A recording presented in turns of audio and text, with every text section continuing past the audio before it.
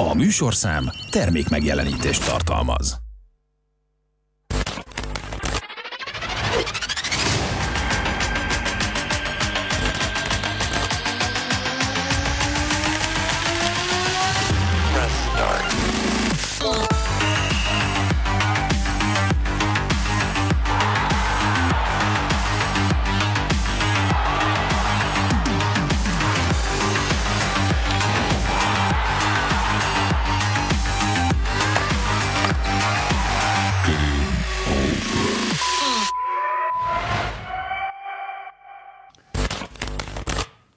Jó estét kívánok, sok szeretettel köszöntöm a kezdőkör nézőit és hallgatóit. Nagyon a vége felé járunk már a szezonnak, így idei műsor folyamunk is lassan véget ér, hiszen már nem lesz miről beszélni, de ez még nem a mai adásra vonatkozik. Csupa végjáték és csupa izgalmasnak ígérkező végjáték, amelyről ma beszélni fogunk, majd meglátjuk, hogy mi mindenre jut az időnkből, de az egészen biztos, hogy aki szurkolóként figyeli akár a fehérvári csapatok meccseit, akár a nemzetközi eseményeket, az elmondhatja magáról, hogy tényleg van miért izgulni. Nem megyünk bele minden részletbe, de itt van velünk például ugye a Fehérvári foci csapat, amelynek az utolsó meccse szombaton lesz a Diózsőr ellen, és hát ott dőlhet el, hogy a dobogón és annak melyik fokán végeze majd a Vidi, akikkel pedig ma beszélgetünk, közülük szerintem többen ott is lesznek ezen a mérkőzésen, hiszen itt van velem Kajzer Tamás, barátom, kollégám, Régen, megyek, láttunk, megyek, régen megyek. láttunk Tomi a sportál.hu szerkesztője, aki minden fontos eseményen ott van gyakorlatilag, és mi fontosabban ennél jelen pillanatban.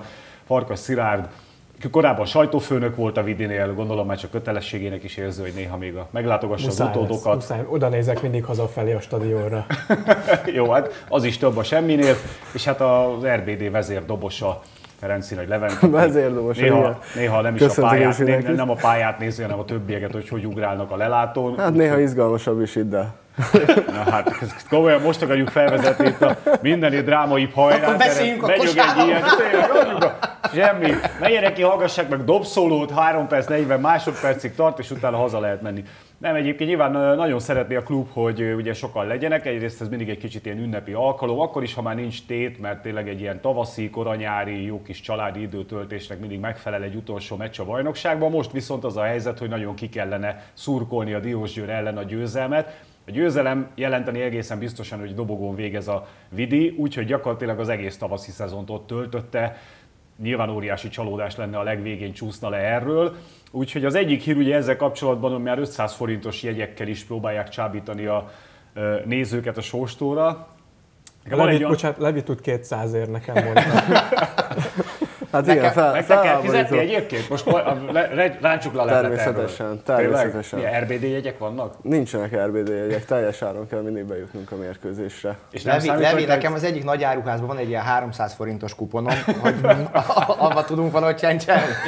Hát figyelj, megbeszéljük, megbeszéljük a részleteket. Te zenei, vagyis kulturális ellenszolgáltatást nyújtasz, tehát azért valamit legalább, ha nem is hát, a teljes RBD, de te aki ütöd a dobot, azért kérhetnél. Igen, fel vagyok én is háborodva, hogy nincs, nincs semmi ilyesmi, de, de ezzel kell együtt élnem. Vakok, gyengéllátók, fogyatékosok és dobosok stadionban. Ez a és országgyűlési képviselők, mert a metrón is ők utaznak ingyen, tehát hogy valami jusson Azért ez egy, azért egy érdekes dolog, nem, hogy a, a, a Vidi utolsó meccsére ugye le kell vinni az árakat, és ugye a Liverpool utolsó hazai meccsére, ugye ami Jürgen Klopp búcsú mérkőzése lesz, pedig hát gyakorlatilag hónapok óta nem lehet kapni, és hát nyilván nem másfél fontos jegyeket árultak. Igen, pedig a színvonalban nincs olyan nagy különbség. Igen, igen, én is ezt akartam mondani. nem, egyébként szerintem, hogy a világ legizgalmasabb bajnokságáról beszélünk, ott, ahol ugye az Melyik egyik csapat, Magyar. hát amelyik az egy, ahol az egyik csapat megveri a másikat 7-0-ra, majd a következő fordulóban a 7-0-ra győztes csapat kikap egy középcsapattól a 3-0-ra, a 7-0-ra vesztes csapat meg legyőzi a bajnokot 2-0-ra, ez nem a Premier League. Terveztem ezt a témát, fel van írva, ez volt az egyetlen téma, ami nem valamiféle bajnoki végjátékkal kapcsolatos, vagy gondoljátok, kitérhetünk rá, de egyébként tényleg az van, hogy, hogy izgalmasnak ígérkezik ez a végjáték.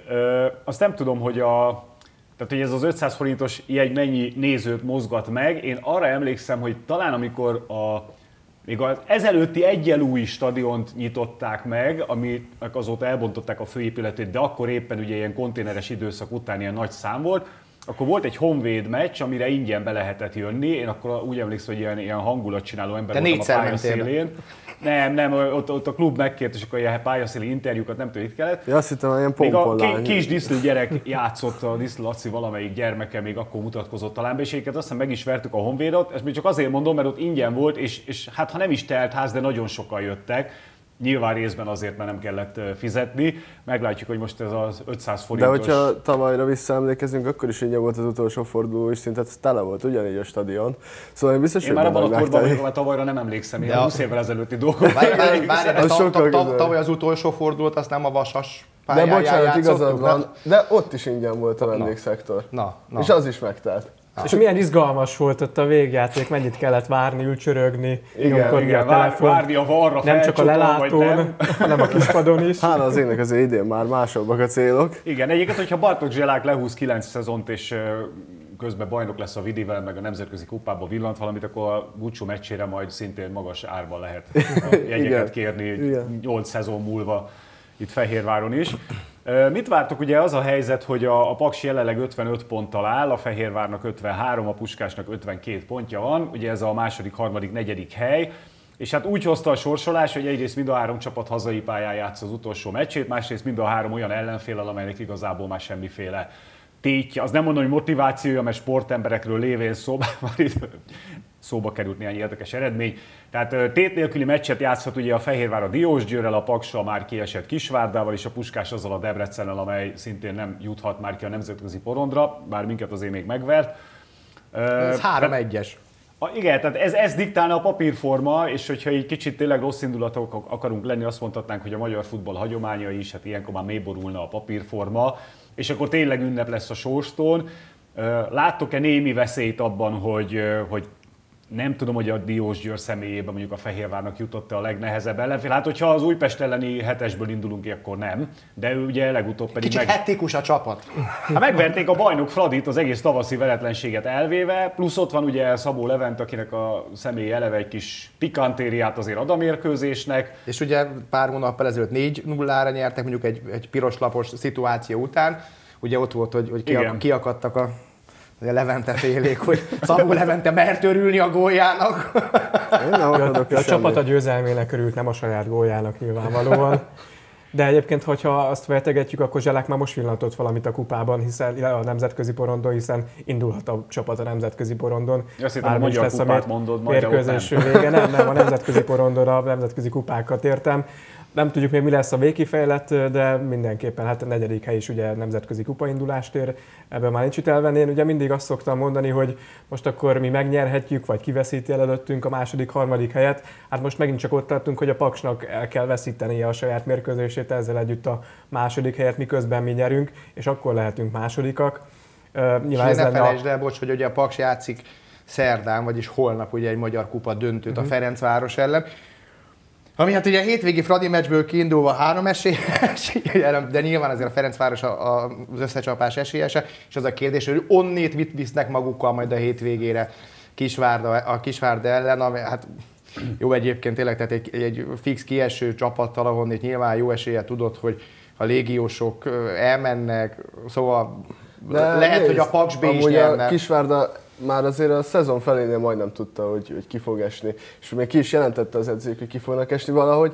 Pont lehet, hogy ez a felszabadultság miatt, illetve a játékosok rohadtul el akarják, el akarják adni magukat más klubhoz. A Pakson mennyi játékos megfigyel. Szóval baromi jól, baromi jól játszott a Ha csak magukat akarják eladni, akkor jó. Erre most az jut eszembe, egyébként volt egy olyan mérkőzés, ott a hétvégén ugye egy félidő 4-0 végeredmény 4-3. Most ha nem is mondom a csapatokat, akkor is ez egy Ez a Kisvárda mezőköves jó, volt. Igen, igen, És fontos jó, volt 10, egyébként. 15 évvel ezelőtti vagy 20 évvel ezelőtti időszakot idéz fel, amikor erre azért elég jól lehetett fogadni. Most biztos nincs ilyen, de, de a Kisvárdával ez is megesik. De mindig Fontos azt mond, bocsánat. nemzetközi fociban is azért vannak olyan eredmények, amire azt mondod, hogy, és nem feltételezed, mert mit tudom én, Tomi mindig nagy Bundesliga volt a magyar futballnak. Ezen mi nagyon jókat tudunk vitatkozni. Tehát én tételezem fel a legrosszabbat, ő a legjobbat. Egyébként a kupa győzelem a Paks esetében nemzetközi kupa indulást ér. Így van, ugye, vagy rosszul tudom? Hát a kupa győztes. Meg, a négy, megvan a négy kupa induló. Megvan Csak a négy csak kupa induló. kupában, az a nem igen, az a, az a nem mindegy. Melyik kupában, van. igen, ezt van. akartam kihozni. neki- Európa Liga. Igen, igen, igen. Igen, hogyha Fradi nyeri a kupát, akkor a Tehát, hogyha lecsúszik a második Paks a helyezett- harmadik helyre, akkor ő akkor, akkor, is akkor Európa Ligán. konferencia, Aha, kon- igen, konferencia igen, ligázik, hogyha nem nyeri meg a kupát. Ha megnyeri a kupát, akkor, Akkor megy az Európa. Ligába. Így van. Ha Fradi Mhm. nyeri a kupát, akkor a második megy az Európa Ligában, még mindig lehet a Paks.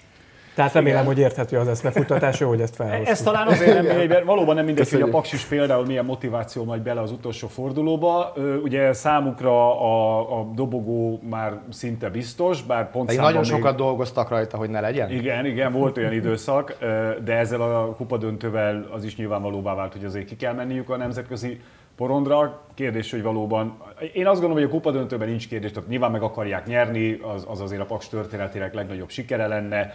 És ha esetleg valami bravúrral ö, sikerül, ak- akkor nagy kérdés, hogy az utolsó fordulóban Pakson is szerintem ott Bogrács Gulyástól kezdve tűzi játékig minden lesz, a foci szinte mellékes lesz a, a közönségnek. Meg egyébként, a, ha esetleg a Paks nyerni a, a kupa döntőt, akkor azért egy újabb Bognár, Kubatov ö, szópárbajra szópárbaj. azért föl lehet készülni, és lehet, hogy akkor is, hogyha a Ferencváros nyeri a, a, a magyar kupát. Így van. Ö, Hát ami pedig a vidit illeti, gondolom azzal egyetértetek, hogy, hogy nagy csalódás lenne, hogyha egy ilyen szezon végén, ahol tényleg gyakorlatilag folyamatosan a dobogón volt most már tavaszi szezon egészében a Fehérvár a végén csúszna le, de hát ugyanakkor hozzá kell tenni, és ezt többször meg is tettük itt az adásból, hogy tényleg tavaly ilyenkor ugye rágtuk a körmünket, hogy ne essen ki a csapat, ehhez képest már a negyedik hely is csoda lenne nemzetközi indulással. Viszont, viszont én most már tényleg úgy vagyok vele, hogy egyrészt a Fehérvárnak még mindig elég jó körülményei vannak, talált egy jó edzőt, amely összerakott egy működőképes csapatot magyar szinten, és hát azzal együtt, hogy nem volt mindig kiegyensúlyozott a teljesítmény, ez a harmadik hely, ez például, ez, ez szerintem reálisan tükrözné, hogy most ho- hol van, vagy hol a helye a, a Vidinek a mezőnyben. Hát ezt a, bocsánat, ezt a harmadik helyet, ezt most ugye a semmiből érte el az edző és a csapat is tulajdonképpen, mert ugye a tulajdonos sok is kimondták, hogy itt nincs most nagy elvárás, és az lesz Te szerintem az érdekes. Igen, az lesz szerintem az érdekes, hogy a következő szezonban a mostani szezon eredménye és teljesítménye alapján hogyan fognak változni a célok, illetve milyen lehetőségeket, akár pénzügyi lehetőségeket játékos vásárlás esetén is fognak megadni ugye a, a klubvezetők a, a, a csapatnak és magának Zseláknak. Tehát, hogy mennyire nyílik meg a pénztárca, jön-e ugye új szponzor, támogató, stb. a nemzetközi kupaindulással térő helyel kapcsolatban. Szóval az, az, az, hogy ez a szezon ez mit jelentett, azt majd a következő fogja szerintem megválaszolni. De Nagyon érdekes, hogy Zsáknak egyébként a, a svédországi karrierje is így alakult. Ugye az első ö, átvett egy csapatot, bent tartotta, és a második szezonjában ezüstérmes lett vele, ami a mai napig a, az AIK-kal a legnagyobb eredménye. Magyarországon gyakorlatilag ez reprodukálja. Hát tavaly ugyan imádkoznunk kellett, és nem feltétlenül a, ő rajta múlt, vagy, vagy hát alakulhatott volna máshogy is, de bent tartotta a Vidit, és most aztán lett egy olyan ö, csapat, amelyik meg akár második is lehet, de harmadik mindenképpen. És egyébként a csapat erejét mutatja valahol, hogy amit én, ami nekem egyébként nem tetszik a, a mai vidiben, hogy a bizonyos, tehát hogy, hogy a, a, nagyon kevés az a játékos, aki a szezon elejétől fogva a végéig nagyjából egy egyenletes teljesítményt tudott nyújtani. Nagyon sok játékosnál nagyon széles skálán mozog azt, hogy éppen mi, mit tud beletenni a, a közösbe. Én szerintem Tóth Balázs és, és Christensen az a két játékos, aki folyamatosan azt nyújtja, azt nyújtja nagyjából, amit tud, meg Gergényi. A többieknél pedig, pedig nagyon, nagyon azt érzem, hogy, hogy eleltűnnek mérkőzésekre. Ott van Katona, aki ősztel ugye 8 gólt rugott, most ugye nem olyan rég rúgta meg az első gólját. Ott van Karamoko, aki, akiben én tavaly össze nagyon bíztam, nagyon sokáig Hát, olyan volt, mint egy... volt Ezt akartam mondani, olyan, mint egy vak, olyan volt sokáig, mint egy vakhangya, most az utolsó néhány mérkőzésen mutatott, jó hagyott is ki helyzetet. Tehát én, én, ezt, én ezt hiányolom, hogy bizonyos játékosoknál, de akár sönt is lehetne idehozni, hogy, hogy vannak igen jó mérkőzése, és vannak olyan meccsek, amikor meg, meg, meg mint hogyha így eltűnnének. Ez az, amin szerintem a jövőben dolgozni kell, hogy vagy olyan játékosokat kell hozni, akik képesek folyamatosan egy jó szintet, egy jó átlagot hozni, vagy, vagy itt esetleg, hogyha mentális problémákról lehet beszélni, mert ez esetben szerintem sokszor ez kerülhet szóba, akkor, akkor meg hogyan kell a, ezekkel a mentális problémákkal dolgozni. Vagy ha fizikális, akkor meg a, vagy a fizikális dolgokkal. Ez, ez amit mondasz, egyébként felveti azt a kérdést, hogy valójában milyen munkát végzett Zselák, illetve hogy összerakott-e tényleg egy jó csapatot, mert ö, ö, tény és való, hogy azért voltak hullámvölgyek, volt kiegyensúlyozatlanság, én nekem még Krisztenzen is amúgy nem túl Balázsi szinten volt kiegyensúlyozott, főleg az őszi szezon első részében sokszor csak néztük, hogy tényleg ő miért, tehát légiósként nem tud húzó ember lenni, aztán később valóban nagyon megtalálta önmagát. Tehát, hogy nyilván egy jó csapat ismérve az, hogy, hogy kiegyensúlyozottan, akár olykor gyengébb játékkal is, de hozza az eredményeket, és van egy felismerhető profilja, miközben itt arról beszéltünk még, még tavasszal is, hogy kétféle vidi van, az egyik játszik kisítően, behúzódva, vereség elkerülésére, a második meg mer dominálni, labdát birtokolni, támadni. Úgyhogy nyilván nagyon leegyszerűsítve azt is kérdezhetik, hogy Tóth Balázs nélkül hol tartana ez a vidi, mert olyan szinten védi felül az egyébként várható gól, kapott gól mennyiséget, ami szerintem egészen kirívó, nem csak magyar szinten. Jó, hát mondjuk ezzel az XG-vel én lassan tényleg Bognár most... Györgyel értek egyet, hogy nem nagyon kell foglalkozni, főleg, hogyha megnézzük a bajnokok ligája elődöntőinek a, az XG Tok mutatóit. Ne, ne, de 12, 12, 12, 12 kapott gól nélküli mérkőzése van egyébként Tóth Balázsnak, és nagyon, nagyon, én már nagyon sokszor írtam le cikkbe, hogy akkor most jön a 13 és a végén kaptak egyet. Tehát hogy ebből sok, sok az egy gólos mérkőzés, Tud Balázs jó, én szerintem összességében a védekezés is megfelelően meg van szervezve, hiszen nyilván ha nem lenne előtte védelem, akkor, akkor jóval több lövés lenne, tudnék újabb párhuzamot hozni egy másik bajnokságból. Ezek nagyon jók ezek a hasonlatok egyébként, erős hasonlatokat hozol. Így, így. Mondjuk az biztos szerintem, hogy a csapat mostani, illetve idénybeli teljesítménye, hiszen ugye amik, akikről beszélünk és amilyen problémákról beszélünk, a csapat szinten a legyének teljesítményében, az bizonyára az edző is látja, és ő tudja úgy forgatni, illetve ő forgatta úgy a csapatot az egész bajnokságban, hogy azért mégis legyen egy olyan teljesítmény, ami azt hozhatja magával, bár ugye, ha megnézzük a Paks teljesítményét, hogy nem is tudom, melyik volt a leghosszabb vere, vereség sorozata, talán 5 vereség, és, és még az öt vereség után is tudtak Hát a, a negyedik után maradni. És a negyedik után hosszabbítottak Bognár Györgyel. Igen, és akkor hosszabbítottak a Bognár Györgyel, tehát azért az edzőnek biztos, hogy tehát a játékosok mellett, sőt inkább a játékosok felett az edzőnek van itt a legnagyobb szerepe abban, hogy így teljesített a csapat. Meg a, meg a szurkolóknak, tehát hogy azt igen, felejtsük el, tényleg. Ez most nem a, izé, nem a, nem a cinkelés része, hanem tényleg Hát főleg, azért volt, főleg, volt szerencsém nagyon sok meccsen kínleni a, a, a vidipályán, ebből volt azért néhány, ami nem volt olyan jó, és tényleg gyakorlatilag végig végig ment hát, a szurkolás. És hát ha már a, ha már a szurkolásról van szó, ugye, és a, a Fehérvári valóban egyébként példa mutató hozzáállásról, amit tavaly Juhász Laci is ugye sokszor itt volt, és mindig elmondtuk, én mindig kérdezte, hogy meddig tart még a szurkolók türelme, amikor a csapat már nyilvánvalóan teljesen méltatlan volt a, a biztatása, vagy rossz eredményeket hozott, abban a nehéz szezonban is. Most pedig ugye az történik, hogy egy Diósgyőri szurkolótábor bolykottálja a saját csapata meccsét, mert hogy előzőleg ugye hetet kaptak Újpesten. Az újpesti szurkolótábor nem megy ki a szezonzáró derbire, mondjuk ők Kubatovnak mutatnak egy középső újat, a Ferencvárosnak, hogy nem akarnak asszisztálni.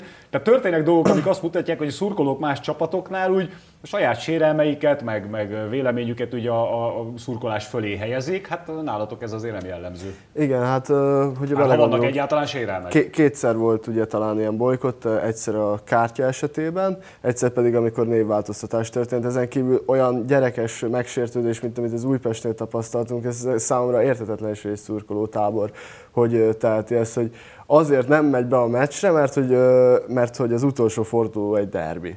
Hát ez számomra hihetetlen. Hát e, e, ez, ez egyfajta új front nyitása ugye a Fradi Újpest háborús, azt mondja, ők nem fognak ott fölhúzni a bohóc sipkát, hogy a Fradi velük De aztán lehet, hogy majd két szezon múlva ez fordítva történik, ez most az Újpestből is nagy csapat lesz, és akkor meg majd visszakapják, hogy a fradisták nem szeretem a humorodat, Zoli. Alapvetően, alapvetően, a, alapvetően az ultrának az a lételeme, hogy jóban rosszban a csapat mellett is ez most a rosszban. Na mindegy. Te is a... egy, egy újpesti hetes után, egy olyan hetes után. Hát várj, azért Messz, Messz már vetetett le az RBD is, és itt tegyük hozzá, hogy ugye Fiola Attila az a játékos ebben a, a csapatban, aki, aki egyrészt kapja néha szerintem méltatlanul is, másrészt viszont azért is, mert egyedüliként ugye a nehéz időben is kiment a, a Hát azért ő meg van itt szurkolókhoz. becsülve, akármit mondanak a külső szemlélők. Tehát az, az a fajta vélemény nyilvánítás, ami nekem még szintén egy kicsit azért necces, hogy, hogy vessétek le a meszt, meg szégyeljétek magatokat. Ez itt Fehérváron is volt, de való igaz, hogy itt a, a szurkoló tábor a nehezebb időkben is mindig ott volt a, a csapat mögött a meccseken. Hát azért Diós Győr esete az egy kicsivel másabb, mert ott a rendőrség is közbeszólt. Hát ott a háttérinformációkat senki nem tudja tisztán, hogy mi történt. Azt tudjuk, hogy három embert fixen bevittek a rendőrségre Miskolcon, mert oda jöttek a buszunk közelébe, és azt mondták, hogy a fehérvári szurkolókban félelmet keltett az ő magatartásuk. Hát tudtunk, a feljelentés nem történt, erről volt is egy És Facebook posztunk. Én, én a, amúgy is minden meccsen. Voltál a dobítő, nem félt annyira. Mert akkor beidéznek tanulnak. Hát itt a szurkoló, akiben félelmet keltettek a Diósgyőri ultrák. De hát én már a távoli látványoktól is beszoktam. Szóval.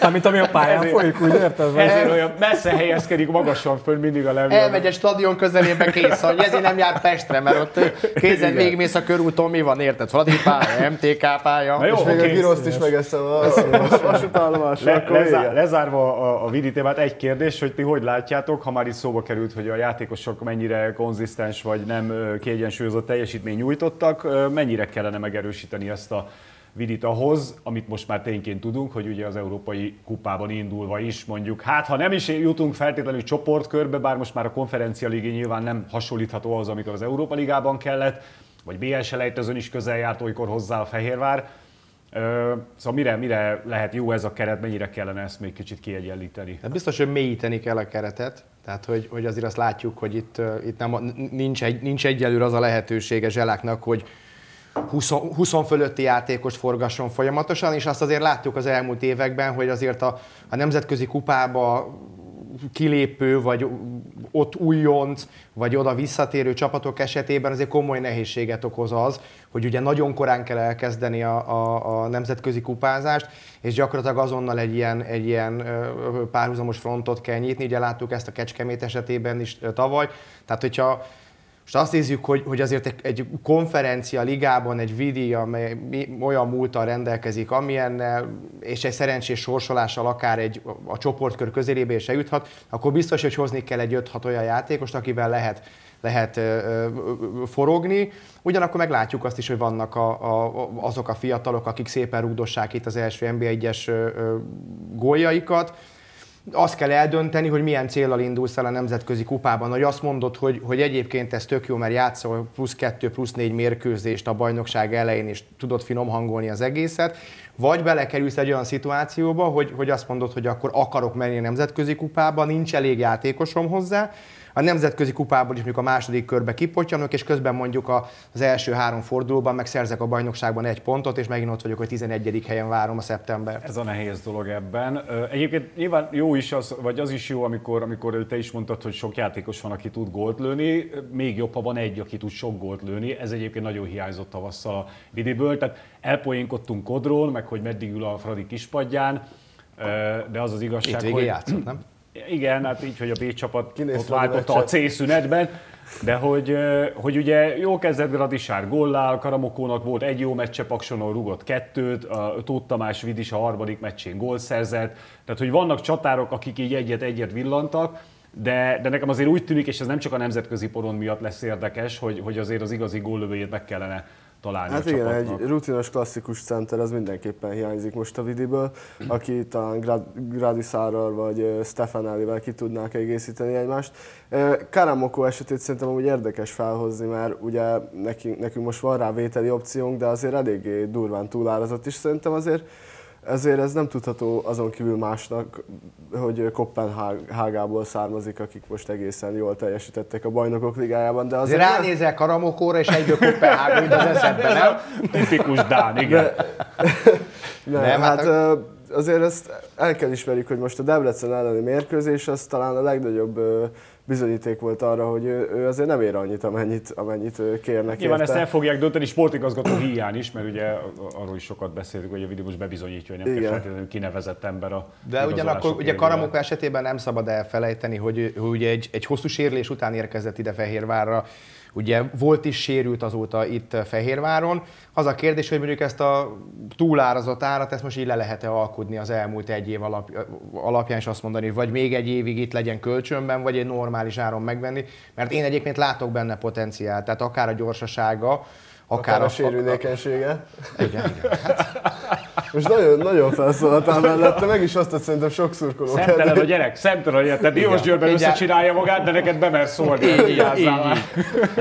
Szerintem meg, kell, meg kellene... kiló vagy kisgyerek?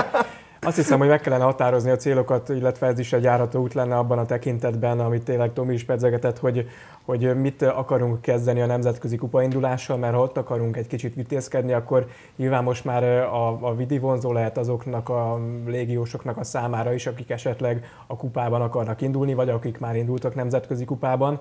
Hogyha viszont a bajnoki esélyeket akarjuk dédelgetni, vagy nem csak a dobogó harmadik, most csak nem csak a dobogó harmadik fokán akarunk végezni, hanem tuti másodiknak legalább, akkor viszont szintén vonzó lehet a vidia azoknak a számára, akik a bajnokságban akarnak, akarnak kitűnni. Jó, hát én ezzel a Mansze gyerekkel kiegyezek, hogyha véletlenül sikerülne idehozni, de nem akartam senkinek ötletet, és biztos nem is én fogok.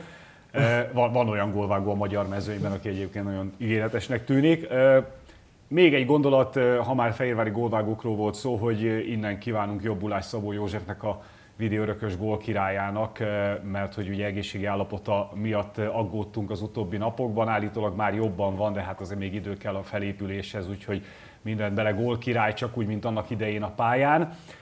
És akkor a Fehérvári fociról ugorjunk át egy kicsit a, a szélesebb spektrumra, bár több mint az adás felét át is beszéltük a vidivel. Nagyon különleges mostani helyzet, ugye ezt az adást mindig kedden 11 órakor rögzítjük, ez most is így történt, és amikor önök látják este, akkor már megtörtént Marco Rossi keret hirdetése, egyelőre bő keret hirdetése az egy hónap múlva kezdődő Európa-bajnokságra.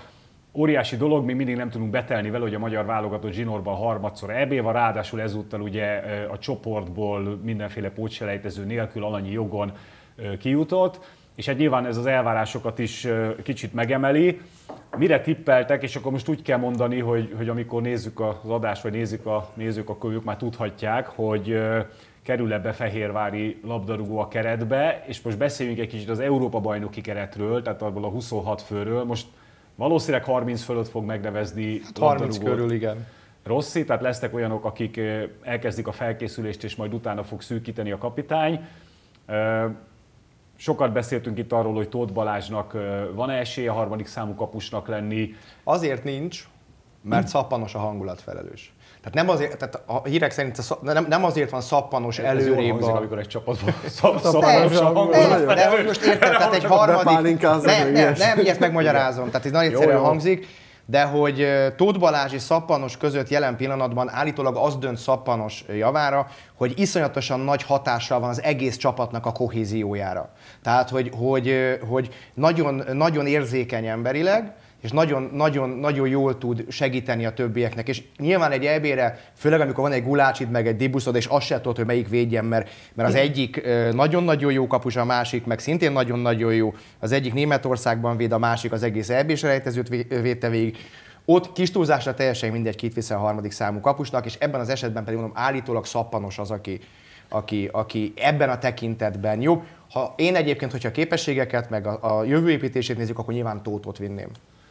Igen, hát beszéltünk róla, hogy valóban szappanos. Itt ugye ez az a poszt az egész keretben, ami tényleg lehet egy jutalomutazás kvázi. Hát ha csak aztán nem üt be a krak, mert, mert gyakorlatilag a két egy, egy, egyaránt kiváló kapusodból, ha az egyiket történik valaki, akkor az a másodiknak már olyannak kell lenni, aki, aki bármikor bevethető. Fiola Attila pedig ugye azért speciális eset, mert, mert súlyos sérülésből felépülve a szokásos akarat erejével visszaküzdötte magát, Szerintem mindenki elkönyvelt, hogy azért főleg ismerve a válogatott hátvédposzton nem annyira bő kínálatát, ő, ő több poszton bevethető emberként, ha más nem kiegészítő emberként be tudja verekedni magát a keretbe, erre újfent megsérült szegény, most ugye a vállát kellett műteni. Nyilván neki még jó, hogy van egy hónap a rajtik, kérdés, hogy, hogy ez mire lesz elég. Hát szegénynek mostában nem, nem igazán jönnek össze a dolgok, ugye még a szerződés hosszabbítást is fontolja a klub, és hát ugye ez a sérülés is azért, azért betelhet neki, meg hát szerintem így azért egyértelmű vált, hogy most már nem fog szerepelni az Európa-bajnokságon, sajnos. Hát, várjuk még ezt Várd meg a kerethirdetést. Hát Vagy megvárom, hát, de- mi, vagy hát ugye, amikor minket néznek, akkor már tudják. Hát nem szabad kockáztatni szerintem egy pozíciót azért, hogy megvárjuk, hogy mi lesz egy másik játékossal, aki ugye emlékszünk a franciák elleni meccse, csak egyet mondunk, szívvel lelke motorja ő is az egyik a csapatnak. Ha nagyon-nagyon szeretnénk is, hogy ott legyen, de teljesen mindegy, hogy kiről van szó ilyen esetben, hogyha valaki sérült, akkor, akkor egy egészséges játékos posztját nem szabad vele feladni. Hát a kérdés az, De hogy az mekkora majd, bocs, bocs, csak ugye most még nem EB keretet hirdet, hanem egy EB bőkeretet A bőkeret, hirdet, bőkeret Rossi. igen, De de még és az- ugye, és ugye meglátjuk, hogy, meglátjuk, hogy én annyit hallottam, hogy Fiola nagyon nagy erőket mozgósít azért, hogy legyen esélye ott lenni az Európa-bajnokságon. Ugye neki ez az utolsó kontinens tornája lehet. Korából fakadóan maximum még egy világbajnokság Hát, lehet benne, az nem egy rossz dolog. nincsenek, akik mind a három ebén ugye az utóbbi hárman ott lehettek magyar színekben, úgyhogy nyilván ez egy kuriózum lenne. Egyébként még a ha- 30-as, tehát még a bőkeretnél is felmerül, hogy valójában mekkora merítési lehetősége van Márko Rosszinak, mert amikor már egy 30 pluszos, többszörösen sérült magyar játékos, aki itthon játszik Magyarországon, helyére kell valakit találni, az valószínűleg nem egy külföldön edződő, erősebb, fiatalabb, reményteljesebb játékos lesz, hanem valaki, aki még Fiolához képest is pótmegoldás, és ez nyilván azért probléma, és különösen a védelemben látjuk ezt. Igaz, hogy lesz most ugye megint szériá játékosa a magyar futballnak, és ő nyilván ott lesz a keretben, meg hát tudjuk, hogy vannak te- reményteli fiatalok. Én például arra vagyok kíváncsi, hogy mondjuk egy Vancsa Zalán, aki, aki nagyon jó szezon zárt, válogatottban is bebiz- bemutatkozhatott már, hosszabb távra kapja meg a bizalmat, vagy most csak így megmerítkezik, megmutatják neki, hogy, hogy motivációként, hogy milyen a kerettel dolgozni, vagy esetleg kiviszik a- az EB-re. Nagyon sok kérdés szerintem ebben a keretben nem lehet. Az, hogy tényleg ezen az egy-két ilyen helyen kik fognak osztozni. Azért mondom, a gerinc az nyilván adott, azt, azt mindenki látja. Egyébként Fiolára visszatérve neki is egyébként még a személyisége is indokolja azt, hogy adott esetben, főleg az elején a bőkeretben ott legyen, és majd amikor dönteni kell, akkor nyilván újra megvizsgálják a, az állapotát. Ez mindig, igen, ez ne- nehéz kérdés, mert nyilván van egy maga, aki kiharcolta ezt az EB részvételt, hogy adsz-e valakinek egy ilyen, egy ilyen, úgymond egy ilyen jutalomutat egy ilyen fiatalnak, vagy nem. Nyilván azért hosszú idő még ez az egy hónap, tehát hogy ne adj Isten, valaki még megsérül. Úgyhogy én a nagy meglepetésre nem számítok, tehát hogy nem hiszem, hogy Pintér Attila bekerül a stábba. De azt sem szabad elfelejteni, hogy egy akármilyen kaliberű játékos valaki, bárki bármikor kieshet ugye a, a keretből, és emlékszünk, hogy Szoboszlai Dominik nélkül is nagyon jól muzsikált a magyar válogatott. Tehát nagy szerencse, hogy itt van egy olyan kohéziós egység, vagy egy olyan összetartó erő, egy olyan csapat gyakorlatilag egyénekre bontva is, hogy, hogy az egyik ember pótolja a másikat. Tehát szerencsére úgy, úgy látjuk az előző mérkőzésekből, illetve az előző EB-ből, kiindulva is például, hogy nincs pótolhatatlan játékos, és ez nagyon jó. Ugye a 26 fős keret az azt jelenti, hogy ez, ez négyel több, mint ami az előző, tehát vagy kettővel ezelőtti Európa bajnokság, ugye 22 volt nagyon sokáig. Nyilván azoknak a válogatottaknak jó ez, akik 26 minőségi labdarúgóval rendelkeznek, vagy még annál is többel, és az akár két egyenértékű Tehát csapatot nekünk. ki tudnak állítani. Hát a magyar válogatott egyébként a legutóbbi EB-n a, a legkevesebb játékost foglalkoztató csapatok között volt. Ö, igaz, hogy nem is tartott tovább a csoportkörnél, bár nem sokon múlt. Tehát ez is azt mutatja szerintem, hogy Marco, Rossinak azért megvannak a, a választásának a korlátai, és nyilván mindenki imádkozik, hogy nehogy az történjen velünk, mint például a skótokkal, ahol, ahol zsinórban estek ki a, a kulcsemberek. Nekünk jó, mert velük fogunk rivalizálni a csoportban, de azért, azért erősen megéreznék, és ne, ne Szoboszlairól beszéljük, hanem akár csak Sallai. Sallairól, akár csak Schäfer. Schäferről, tehát azokról, akik szintén Willi Or- nagyon, nagyon komoly, Orbán, ugye nagyon komoly terhelés mög, van mögöttük ugye a szezonban, Bundesligában, magas szinten játszva, És egyébként ugye például Willi Orbán kiesését, az minden egyes alkalommal megérezte a csapat, hiszen ugye neki kulcs feladata az, hogy, hogy, hogy a labda kihozatal az hogyan működik, és látjuk, hogy amikor nincs Willi Orbán, akkor Szoboszlainak kell hátra menni kihozni a, a, a labdát a kaputól, kaputól. És ugye, hogyha Szoboszlai hátul van, akkor nincs elő.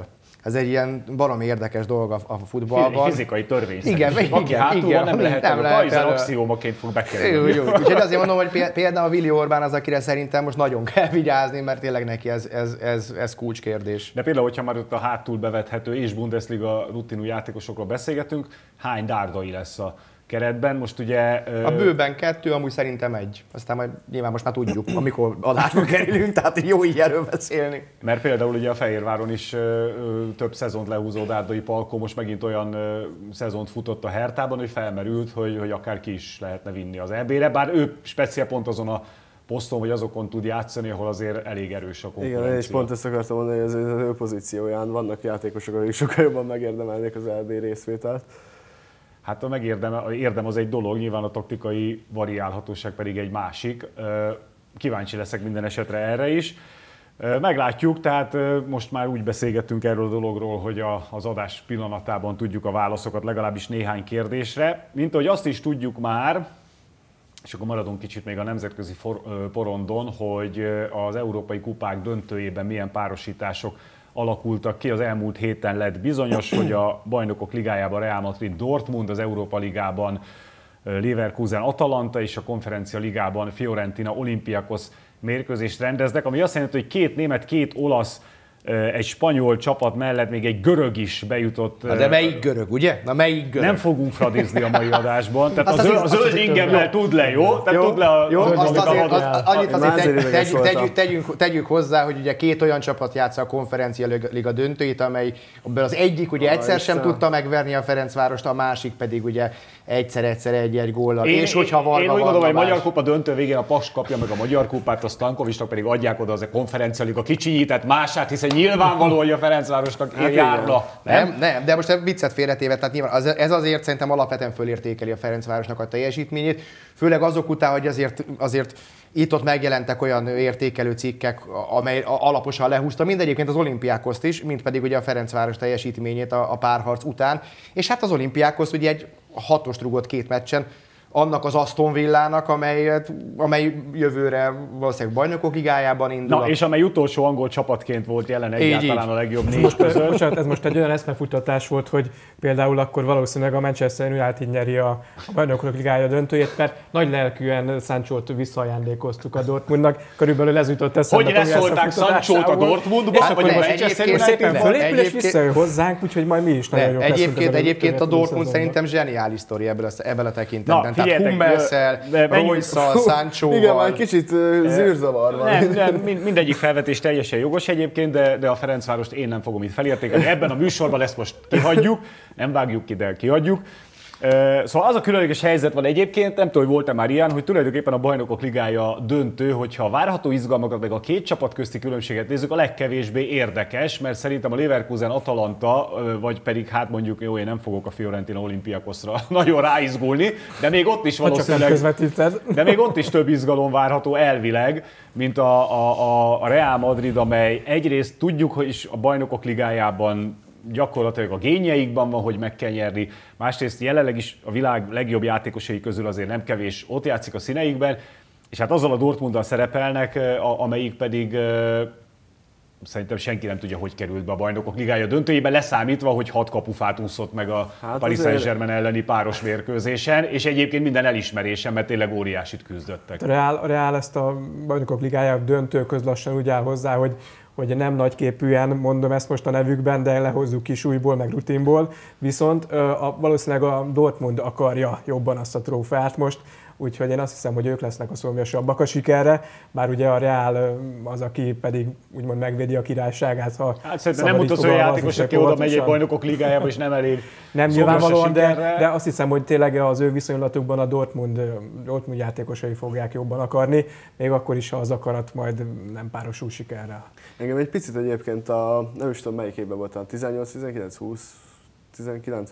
A Manchester, születtél, hagyjad már. Manchester, Manchester City Chelsea döntőre emlékeztet ez a párosítás, amikor mindenki leírta a Chelsea-t, hogy úgyis meg fogja nyerni. Az volt az a Manchester döntő, City. amit a United mezben néztem, jelezve, hogy melyik Hála csapatnak szurkol. Hogy nem Fradi?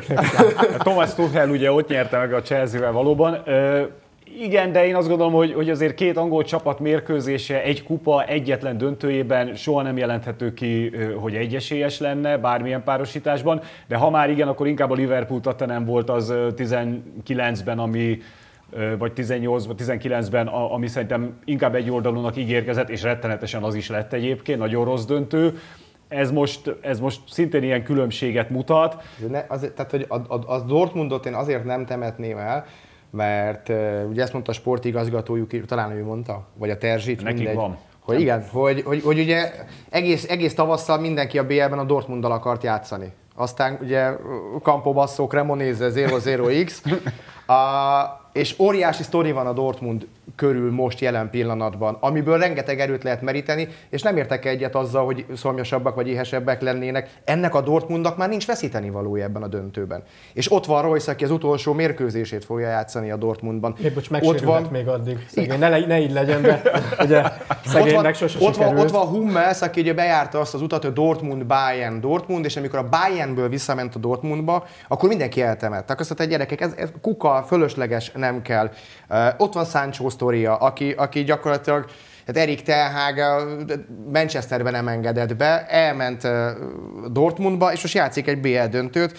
A United meg ugye azt hiszem majd lesz hetedik vagy nyolcadik a, a bajnokságban. Tehát, hogy óriás, tök jó sztorik vannak a, a Dortmund körül, amiből lehet, amiből lehet merítkezni, és azt mondom, na ezért lehet Ez megcsinálni. óriási sztorik Nyilván vannak. a másik oldalon meg ott van a, a madridizmus, ami meg, ami meg nem kérdés, és majd a végén esetleg jön megint Joselu, akiről szerintem a, nem hardcore szurkolók a szezon előttig nem nagyon hallottak az eszpanyol kölcsönjátékosra, tehát így ember. A Real Madridban az a nagy szám, hogy általában ők, ahogy eljutnak a döntőbe, az, az sokkal emlékezetes, izgalmasabb, mint maga aztán a, a döntő, amit általában kivéve ugye egy Atletico Madrid elleni döntő jut eszembe, ahol hát ott olyan igazi Real Madridosan a, a 90 valányadik percben egyenlítettek, aztán utána már egyepálták a hosszabbításban a, a tikót, vagy volt, amikor 11-esekkel, de általában a döntő az nagyon a, a Real Madrid műfaja, és, és hát valószínűleg meg is van benne az a, az a potenciál. Szóval egyébként, ha megnyeri a Real ezt a döntőt, akkor azt a Manchester City párharcban. Hát, Tehát akkor, igen, akkor a, a, a, ott nyerte meg a BL-t. Egy kicsit a Dortmund onnan is meríthet a Levinek, akkor meséljük el, hogy volt az 1997-ben, amikor még én is kisfiú voltam. Púl Sándor Remélem, hogy jól mondom, igen. Döntő, és amikor, Dortmund Juve. Amikor, igen, amikor mondjuk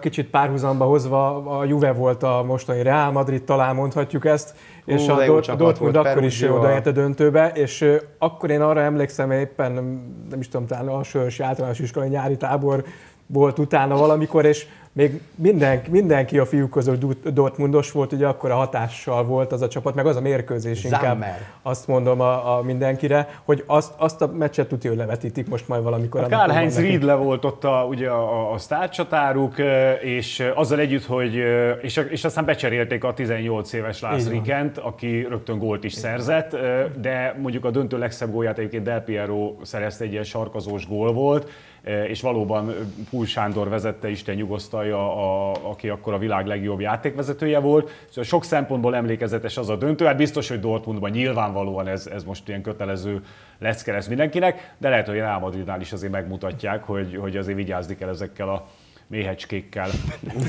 méhecskék. Ezek már ezek, jönnek, jönnek a sárga. Lódarázsát ki magát itt a, a, a tavasz Jó. folyamán. Akkor mondjunk egy, egy, egy vég eredményt. És tippeljétek meg a Leverkusen Atalantát például. Hát az valami elképesztő szezont futott egyébként Csabi Alonso, hát nem, nem is vagyok benne biztos. Hát most hogy... 50, 50 veretlen mesét tartanak, ami lassan világrekord. Ezt már le kell zárni egy győzelemmel. Nem, van, van, van valami hír, vagy északír csapat, vagy mit tudom, milyen csapat, akinek horrorisztikus. Én arra tippelnék egy a Leverkusen Atalantára. A Leverkusen lő volt a 90. perc után. És, Ahogy a Real is. Igen. Igen. Hát nem tudom, nyilván a Leverkusen elképesztő szexi csapat lett, meg most divat őket tényleg imádni, Csabi Alonso előtt kalapott le. Én látom ezt az Atalantát, azért nem lepne meg, hogyha okoznak kellemetlen perceket a Leverkusennek. Nagyon jó csapat, nagyon nem olaszos focit játszik, és ott is van egy olyan edző, akinek a kis van a, a szakma, úgyhogy szerintem ez is egy, egy jó döntő lesz. A Fiorentina Olimpiakos pedig már megbeszéltük, hogy a Fradi nyeri, úgyhogy tulajdonképpen szót is rá kell rá vesztegetni. Meg a pak. Annál lejárt a műsoridőnk, másfél perc van, úgyhogy egyetlen, egyetlen kérdés maradt, ami valójában kettő, mert fölírtam még itt azért fehérvári témákat. Légy szíves, azt tippeljétek meg, hogy egyrészt meg lesz a bronzérem a kosarasoknak, ugye ők is most játszanak adásunk idején Zalaegerszegen, másrészt, hogy bemaradnak-e a kézi labdázók, akiknek azért nincs könnyű dolguk itt az utolsó áron fordulóban. Kérném a vége főcímát. Ugye? Bemarad, bemaradnak, és meg lesz a bronzérem. Bemaradnak a kézisek, és a második mérkőzés szerintem a sokat fog jelenteni abban, hogy milyen hosszú lesz, és ha hosszabb lesz, akkor azért van veszíteni valunk. Ez már kosára vonatkozott. Ez már kosára vonatkozott. Igen, igen. Ö, meg lesz a bronzérem, a Vidinek is meg lesz minimum a bronzérem. Az nem és kérdés ö, most. be, bent maradnak, én is azt mondom. Hát mi más mondhatna egy Fehérvári Zoli, én kérdés magát sem értem. Így van, így van. Te, figyelj, majd ke- ke- ketten együtt közel száz évesek vagyunk, mind a kettőnket leoltottál. Lehet, hogy te most ültél itt Hát nem, kell, utoljára. nem kell idejönni Zoledbe. Ezért, ezért hívom meg a Levit, kell a friss hang, úgyhogy legközelebb már ő csinálja az egész műsort. Köszönöm szépen, hogy itt voltatok, és a kedves nézőknek is a figyelmet. Jövő héten még megbeszéljük a szezon nagy történéseit, úgyhogy akkor még mindenképpen várjuk Önöket viszontlátásra.